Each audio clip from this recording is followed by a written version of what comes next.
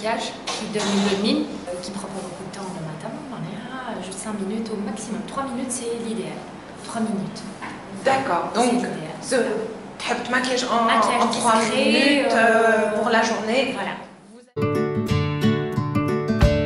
Des couleurs passe-partout, légères, très discrètes dans la journée. Donc, ce qu'on ce va faire, c'est le blanc sous l'arcade sourcilière.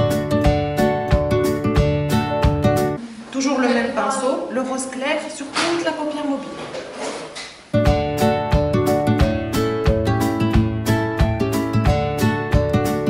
Toujours avec le même rose, toujours avec le même pinceau, Halvinique.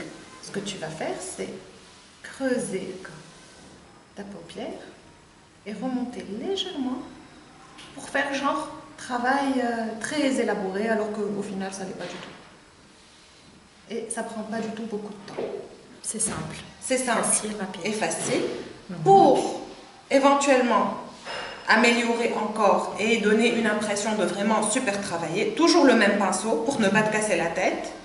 Tu prends le foncé de la palette, four, tu le mets en cils inférieur, un crayon marron, c'est plus frais que le noir, et c'est passe-partout aussi. Et en, en, en, وقت اللي تخلي la muqueuse هكا فارغة, ça agrandit l'œil. D'accord. Donc, D'accord Oui. Donc, مش انت ما من تكحلش من داخل كحل D'accord. من البرا vraiment au ras des cils au ras des cils ما D'accord. تدخلش بيه donc ça agrandit davantage la- l'œil là C'est quoi c'est le primer pour ton visage D'accord. donc ça va lisser le, Le grain de primer, c'est la base en fait, c'est ça voilà D'accord. ça va lisser le grain de peau C'est vrai. On le sent déjà. Enfin, je le sens. c'est sûr c'est juste choyable D'accord. pour illuminer le centre du visage sans aller vraiment trop loin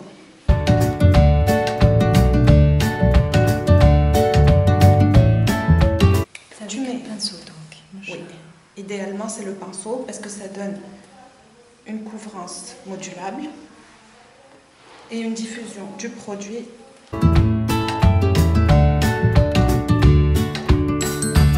Un blush pêche doré, c'est un passe-partout. Ça va juste donner une bonne mine sans alourdir un petit coup de mascara comme c'est quelque chose de léger et de frais, matkafarsh, c'est juste, je n'en tu les définis et tu les sépares bien. Un petit rouge à lèvres.